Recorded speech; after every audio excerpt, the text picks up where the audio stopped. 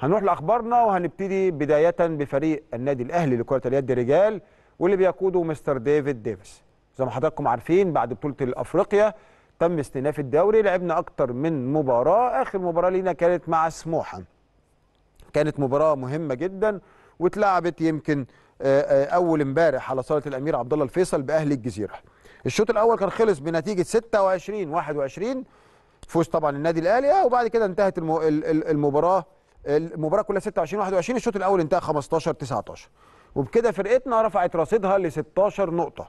بفرق كبير عن منافس التقليدي نادي الزمالك فرق أربع نقاط ونادي الزمالك 12 مباراة. مباراتنا اللي جاية هتكون مع طلائع الجيش بإذن الله وهتكون يوم الثلاث اللي جاي يعني بعد بكرة الساعة 4 على صالة نادي طلائع الجيش في منشية البكري. مباراتنا مهمة عندنا مباراة مهمة بعديها نادي الزمالك يوم الجمعة. طب كل الهيصة دي للأسف في الآخر هتوصل إن في أربع فرق فقط هم اللي هيكونوا في طليعة المنافسات. أول مع تاني هيلعبوا على بطولة الدوري best of 3 أفضل في ثلاث مباريات والثالث والرابع يلعبوا على البرونز الأفضل في ثلاث مباريات.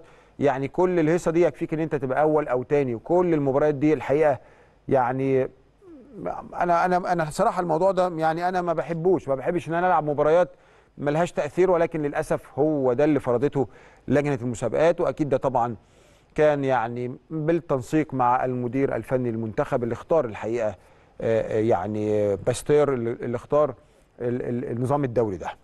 كل التوفيق طبعا لفرقتنا في المباراة القادمة مع طلائع الجيش والمباراة اللي بعديها إن شاء الله مع نادي الزمالك.